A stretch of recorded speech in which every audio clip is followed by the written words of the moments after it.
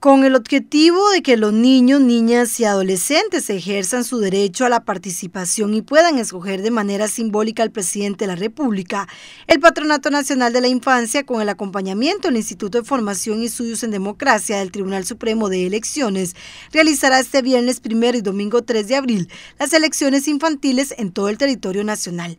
En el caso específico de la zona sur, este viernes se habilitarán 5 a las 7 oficinas locales. En Cotobruz atenderán a los menores de 8 y media de la mañana a 1 de la tarde. En el caso de Puerto Jiménez, de 8 de la mañana a 12 de mediodía. Y estarán en la escuela Alberto Echandi Montero en corredores de 9 de la mañana a 2 de la tarde.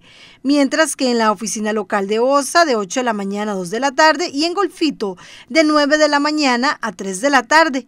Para el domingo 3 de abril se habilitarán los cuatro albergues de la institución, tres que están en Pérez Celedón y uno en Corredores. Con ello buscan que los menores participen de esta fiesta cívica junto con las personas adultas para reforzar los valores democráticos del respeto, la tolerancia, el ejercicio de una participación activa y la construcción de una cultura cívica. Esta práctica permite a las familias tener espacios donde puedan arraigar a sus hijos e hijas el compromiso cívico y democrático de participar en los procesos electorales que por tradición tiene la sociedad costarricense. Es una oportunidad para que los futuros electores vayan desarrollando actitudes y valores como el respeto, la responsabilidad, la transparencia, la tolerancia y la toma de decisiones.